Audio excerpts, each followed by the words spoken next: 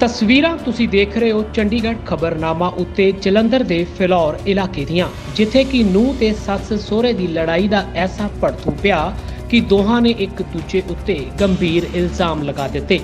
ਤੇ ਫਿਰ ਉਧਰੋਂ ਜਦੋਂ ਪੁਲਿਸ ਆ ਗਈ ਤਾਂ ਮਾਮਲਾ ਹੁਣ ਪੁਲਿਸ ਤੱਕ ਪਹੁੰਚ ਗਿਆ। ਦਰਅਸਲ, ਫਿਲੌਰ ਇਲਾਕੇ ਵਿੱਚ ਪੈਂਦੇ ਬਿਲਗਾ ਪਿੰਡ 'ਚ ਰਹਿਣ ਵਾਲੇ ਅਮਰੀਕਨ ਸਿਟੀਜ਼ਨ ਐਨਆਰਆਈ ਜਿਨ੍ਹਾਂ ਦੀ 3 ਮਹੀਨੇ ਦੀ ਗਰਭਵਤੀ ਨੂੰਹ ਨੇ ਇਲਜ਼ਾਮ ਵਿੱਚ ਪੱਤਰਕਾਰਾਂ ਨੂੰ ਜਾਣਕਾਰੀ ਦਿੰਦੇ ਹੋਏ ਦੱਸਿਆ ਕਿ ਉਹਨਾਂ ਦੇ ਸੱਸ ਸਹੁਰੇ ਨੇ ਉਸ ਦੇ ਘਰ ਵਿੱਚ ਹੀ ਉਸ ਨੂੰ ਬੰਧਕ ਬਣਾ ਕੇ ਉਸ ਦੇ ਨਾਲ ਕੁੱਟਮਾਰ ਕੀਤੀ ਹੈ। 3 ਮਹੀਨੇ ਦੀ ਗਰਭਵਤੀ ਨੂੰ ਨੇ ਆਪਣੇ ਸਹੁਰੇ ਤੇ ਇਲਜ਼ਾਮ ਲਾਏ ਨੇ ਕਿ ਉਸ ਦੇ ਸਹੁਰੇ ਵੱਲੋਂ ਉਸ ਨਾਲ ਕੁੱਟਮਾਰ ਕੀਤੀ ਗਈ ਹੈ। ਉਸ ਦੀ ਸੱਸ ਵੀ ਉਸ ਨੂੰ ਤੰਗ ਪਰੇਸ਼ਾਨ ਕਰਦੀ ਹੈ ਤੇ ਫਿਰ ਉਹ ਬਾਹਰ ਵਾਲਾ ਗੇਟ ਲਾ ਦਿੰਦੇ ਨੇ ਤੇ ਜਦੋਂ ਕੁੜੀ ਆਪਣੇ ਘਰਦਿਆਂ ਨੂੰ ਸੱਦਦੀ ਹੈ ਤਾਂ ਬਾਹਰੋਂ ਗੇਟ ਨੂੰ ਜਿੰਦਾ ਲੱਗਿਆ ਦੇਖ ਕੁੜੀ ਦੀ ਮਦਦ ਕਰਨ ਲਈ ਆਏ ਅੰਦਰ ਨਹੀਂ ਆ ਪਾਉਂਦੇ।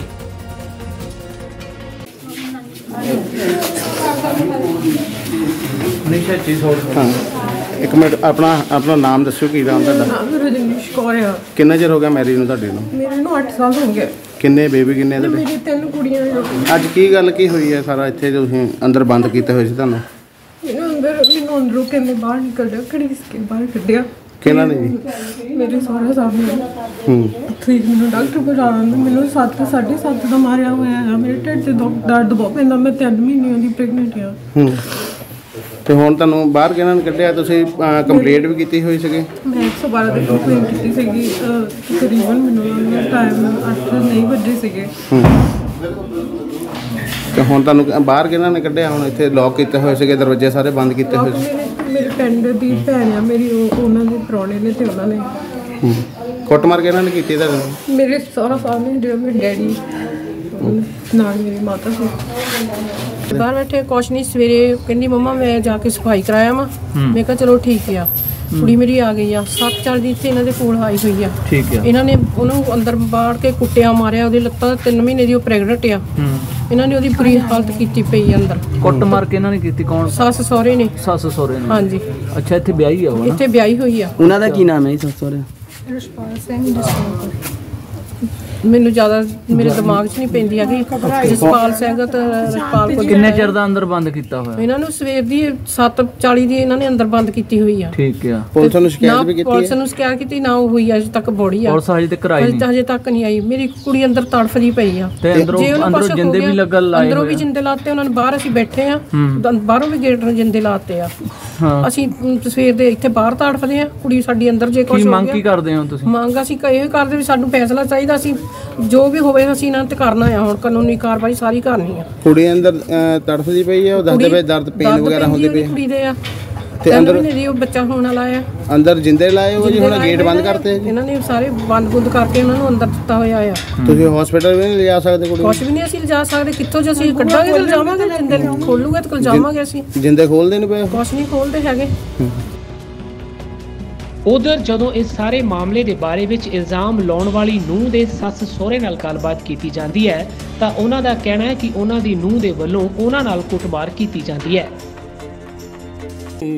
ਕੱਲ ਆਏ ਆ ਦੂਏ ਚ ਬਾਹਰੋਂ ਆਏ ਆ? ਬਾਹਰੋਂ ਪਰਸੋਂ ਰਾਤੀਆਂ ਕੱਲ ਹੀ ਆਏ ਆ ਤੇ ਤੁਹਾਡਾ ਘਰ ਇੱਥੇ ਆਉਣਾ ਸੀਗਾ ਅਸੀਂ। ਹਾਂ ਹਾਂ। ਫਿਰ ਕੀ ਗੱਲ ਹੋਈ? ਘਰ ਆ ਕੇ ਅਸੀਂ ਕਰ ਰਹੇ ਆ। ਹਾਂਜੀ। ਚਾਪੀਆਂ ਸੀਗੀਆਂ ਸਾਡੇ ਕੋਲ ਆ ਕੇ ਅਸੀਂ। ਮਾੜਾ ਮੋਟਾ ਕਪੜਾ ਲੀੜਾ ਸੀ ਸਾਡਾ। ਹਾਂ। ਉਹ ਚੇਂਜ ਚੇਂਜ ਕਰਕੇ ਇਹਨਾਂ ਨੂੰ ਕੇ ਚਲੇ ਗਏ। ਹਾਂਜੀ। ਰਾਤੀ ਆਪਦੇ ਭੈਣ ਦੇ ਘਰ ਕਲੋਨੀ ਚਲ ਗਏ ਇਦਾਂ ਠੀਕ ਆ। ਤੇ ਸਵੇਰੇ ਫੇਰ ਅਸੀਂ ਅਰਲੀ ਆ ਗਏ ਅਸੀਂ ਆ ਕੇ ਨਹਾਉਣੇ ਨੂੰ ਸਫ਼ਾਈ ਕਰਾਉਣੇ ਕੁੜੀ ਨੂੰ ਕਿਹਾ ਸੀਗਾ ਪਿੰਡ ਵਾਲੀ ਠੀਕ ਹੈ। ਗੰਦ ਬਹੁਤ ਅੰਦਰ। ਠੀਕ ਆ। ਤੇ ਅਸੀਂ ਅੰਦਰ ਸੀਗੇ ਸਾਡੇ ਮੋਟਰ ਮੋਟਰ ਪਾਣੀ ਦੀ ਜਾਈ ਹਾਂ। ਤੇ ਇਹ ਕੰਧ ਟੱਪ ਕੇ ਅੰਦਰ ਵੜ ਕੇ ਵੜ ਗਈ। ਹਾਂ। ਇਹਨੇ ਵੜ ਕੇ ਇਹਦੇ ਬਾਲ ਫੜ ਲਿਆ ਬਾਲ ਫੜ ਕੇ ਤਾਂ ਹਾਂ ਜੀ। ਬਾਲ ਫੜ ਕੇ ਤਾਂ ਗਾਲ ਨੂੰ ਪਾ ਲਿਆ ਬਾਲ ਇੱਥੋਂ ਦੀ। ਠੀਕ ਆ ਬਾਲ ਪਾ ਕੇ ਤਾਂ ਛੱਟ ਲਿਆ ਥੱਲੇ ਕਿ ਨਹੀਂ ਮੈਂ ਤੈਨੂੰ ਮਾਰ ਦੇਣਾ। ਹੂੰ ਹੂੰ। ਇਹਨੂੰ ਮੈਂ ਛਡਾਇਆ। ਇਹਦੀ ਬਾਹ ਵੀ ਛੱਲੇ ਹੋਏ ਦੇਖੋ। ਉਰੇ ਆ ਤੂੰ ਉਰੇ ਆ ਤੂੰ ਹੂੰ ਹੂੰ। ਅੱਛਾ ਤੁਹਾਡੀ ਨੌ ਐਲੀਗੇਸ਼ਨ ਲਾ ਰਹੇ ਵੀ ਤੁਸੀਂ ਉਹਨਾਂ ਕੁੱਟ ਮਾਰ ਅੰਦਰ ਕੀਤੀ ਹਾਂ ਨਹੀਂ ਨਹੀਂ ਨਹੀਂ ਉਹ ਕੁੱਟ ਕਾਸਾ ਦੀ ਕੁੱਟ ਕਾ ਛੱਡ ਤੋਂ ਹੈ? ਅਸੀਂ ਬੁੱਢੇ ਬੰਦੇ ਉਹ ਉਹ ਤਾਂ ਇਹਨੂੰ ਮਾਰਨ ਲੱਗੀ ਸੀ। ਉਹ ਪ੍ਰੈਗਨੈਂਟ ਵੀ ਆ ਕਹਿੰਦੇ ਪ੍ਰੈਗਨੈਂਟ ਵੀ ਆ ਉਹਨਾਂ ਦਾ ਲੱਤਾਂ ਮਾਰੀਆਂ ਟੈਟੂ ਢੁੱਡ ਚ ਤੁਸੀਂ ਉਹ ਛੜਾ ਝੂਠ ਛੜਾ ਝੂਠ ਮੈਂ ਤਾਂ ਇਹ ਆਪਦੀ ਘਰ ਵਾਲੀ ਨੂੰ ਛਡਾਇਆ ਕੈਮਰੇ ਲੱਗੇ ਆ ਬੰਦ ਕਿਹਨੇ ਕੀਤੇ ਕੈਮਰੇ? ਕੈਮਰੇ ਕਹਿੰਦੇ ਅਸੀਂ ਕਿਤੇ? ਸਾਡੀ ਪ੍ਰਾਪਰਟੀ ਆ। ਮੇਰੀ ਗੱਲ ਸੁਣੋ ਤੂੰ ਚੁੱਪ ਕਰ ਜੋ ਤੁਸੀਂ ਨਾ ਬਾੜਾ ਇਹਨਾਂ ਦਾ ਜਵਾਬ ਸਵਾਲ ਕਰੋ। ਸਾਡੀ ਪ੍ਰਾਪਰਟੀ ਅਸੀਂ ਅੰਦਰ ਅਸੀਂ ਸੀ। ਕੈਮਰੇ ਤੁਸੀਂ ਬੰਦ ਕੀਤੇ? ਅਸੀਂ ਬੰਦ ਕੀਤੇ ਆ। ਅੱਛਾ ਫਿਰ ਉਹਨਾਂ ਨੇ ਨਹੀਂ ਕੈਮਰੇ ਤਾਂ ਕੱਲ੍ਹ ਦੇ ਬੰਦ ਕੀਤੇ ਸਾਡੇ। ਅੱਛਾ। ਕੈਮਰੇ ਤਾਂ ਕੱਲ੍ਹ ਹੀ ਬੰਦ ਕਰ ਦਿੱਤੇ। ਉਹ ਕਾਰਨ ਕੀ ਕੈਮਰੇ ਤਾਂ ਸੇਫਟੀ ਲਈ ਹੁੰਦੇ ਬੰਦ ਤੇ ਕਿਉਂ ਸਾਨੂੰ ਕੋਈ ਇਹਦੀ ਲੋੜ ਲੋੜ ਨਹੀਂ ਸਾਡੀ ਸੇਫਟੀ ਕਰੀ ਹੈ। ਕੈਮਰੇ ਕੈਮਰੇ ਤਾਂ ਸੇਫਟੀ ਨਹੀਂ ਕੋਈ ਕੈਮਰੇ ਤਾਂ ਤਾਂ ਕੈਮਰਾ ਜੀ ਕੈਮਰੇ ਹੀ ਤੁਸੀਂ ਕਹਿ ਰਹੇ ਹੋ ਸਾਡੇ ਨਾਲ ਧੱਕਾ ਹੋ ਰਿਹਾ। ਧੱਕਾ ਹੋ ਰਿਹਾ ਸਾਡਾ? ਧੱਕਾ ਅੱਗੇ ਵੀ ਸਾਡੇ ਨਾਲ ਧੱਕਾ ਸਾਡੀ ਪੈੜੀ ਬੁੜੀ ਸਾਰੀ ਲਵਾ ਲਈਆਂ ਹੁਣ ਤੁਸੀਂ ਜਿੰਦੇ ਲਾ ਸਾਡੀ ਧੱਕੇ ਨਾਲ ਸਾਰੀ ਬਾਰੀ ਹੁਣ ਤੁਸੀਂ ਜਿੰਦੇ ਲਾਏ ਹੋ ਸੀਗੇ ਉਹ ਤਾਂ ਕੁੜੀ ਹੁਣ ਬਾਹਰ ਕੱਢੀ ਹੈ ਸਾਰੇ ਪੁਲਿਸ ਨੇ ਆ ਪੁਲਿਸ ਨੇ ਆਣ ਕੇ ਕਢਾਇਆ ਬਾਹਰ ਲੜਕੀ ਨੂੰ। ਜਿੰਦਾ ਉਹਨੇ ਅੰਦਰੋਂ ਵੜ ਕੇ ਕੁੰਡਾ ਲਾਇਆ ਸੀਗਾ ਅਸੀਂ ਨਹੀਂ ਜਿੰਦਾ ਲਾਏ। ਨਹੀਂ ਆ ਹੁਣ ਜਿੰਦੇ ਸਾਡੇ ਸਾਹਮਣੇ ਲਾਏ ਤੁਸੀਂ। ਇਹ ਤਾਂ ਇੱਧਰ ਡਰਦੇ ਨੇ ਬੰਦੇ 20 ਆ ਬਾਹਰ ਤੇ ਕਿ ਸਾਨੂੰ ਮਾਰਨਗੇ ਆ ਕੇ। ਅੱਛਾ। 20 ਬੰਦੇ ਉਹਨਾਂ ਨੇ ਆਏ ਸਾਡਾ ਕੋਈ ਬੰਦਾ ਨਹੀਂ ਆਇਆ ਇੱਥੇ। ਸਾਡਾ ਕੋਈ ਰਿਸ਼ਤੇਦਾਰ ਕੋਈ ਨਹੀਂ। ਉਹਦੇ ਬੰਦੇ 20 ਸੱਦੇ ਉਹਨੇ। ਉਧਰ ਹੰਗਾਮੇ ਦੀ ਸੂਚਨਾ ਮਿਲਣ ਤੇ ਮੌਕੇ ਤੇ ਬਿਲਗਾ ਥਾਣੇ ਦੇ ਪੁਲਿਸ ਅਧਿਕਾਰੀ ਪਹੁੰਚ ਜਾਂਦੇ ਨੇ। ਤੇ ਮਾਮਲੇ ਦੀ ਅਗਲੀ ਕਾਰਵਾਈ ਸ਼ੁਰੂ ਕਰ ਦਿੰਦੇ ਨੇ। ਸਾਨੂੰ 112 ਤੇ ਕਾਲ ਆਈ ਸੀ ਇੱਕ ਜਗਦੀਸ਼ ਕੌਰ ਪਤਨੀ ਹਰਜਿੰਦਰ ਸਿੰਘ ਉਮਰਪੁਰ ਕਲਾ। ਉਹਨੇ ਫੋਨ ਕੀਤਾ ਸੀ 112 ਤੇ ਵੀ ਮੇਰੇ ਸੱਸ ਸਹੁਰਾ ਮੈਨੂੰ ਕੁੱਟ ਮਾਰ ਰਿਹਾ ਹੈ। ਤੇ ਜਦੋਂ ਅਸੀਂ ਆਏ ਆ ਆ ਕੇ ਦੇਖਿਆ ਤੇ ਸੱਸ ਸਹੁਰਾ ਨੇ ਅੰਦਰੋਂ ਲੋਕ ਲਾਇਆ ਸੀਗਾ। ਤੇ ਅਸੀਂ ਲੋਕ ਲਾ ਕੇ ਕੁੜੀ ਨੇ ਪੁੱਛ ਕੀਤੀ ਤੇ ਉਹਨਾਂ ਨੇ ਕਿਹਾ ਵੀ ਮੈਨੂੰ ਇਹਨਾਂ ਨੇ ਮੇਰੇ ਸੱਸ ਸਹੁਰੇ ਨੇ ਕੁੱਟਮਾਰ ਕੀਤੀ। ਤੇ ਹੁਣ ਅਸੀਂ ਕੁੜੀ ਨੂੰ ਭੇਜਤਾ ਹਸਪੀਟਲ ਜੋ ਸੱਟਾਂ ਲੱਗੀਆਂ। ਆ ਤੇ ਬਾਕੀ ਜੋ ਵੀ ਕਾਰਵਾਈ ਹੈਗੀ ਆ ਅਸੀਂ ਬਣਦੀ ਕਾਰਵਾਈ ਨੂੰ ਅਮਲ ਜਾਵਾਂਗੇ। ਮਤਲਬ ਕੁੜੀ ਨੂੰ ਅੰਦਰ ਬੰਦਕ ਬਣਾਇਆ ਹੋਇਆ ਸੀਗਾ? ਲੋਕ ਕੁੜੀ ਨੂੰ- ਸੀਗੇ? ਤੁਸੀਂ ਲੋਕ ਲਾਏ ਆ ਨਹੀਂ ਲੋਕ ਅਸੀਂ ਬਾਹਰੋਂ ਨਹੀਂ ਕੁੰਡਾ ਲਾਇਆ ਸੀਗਾ।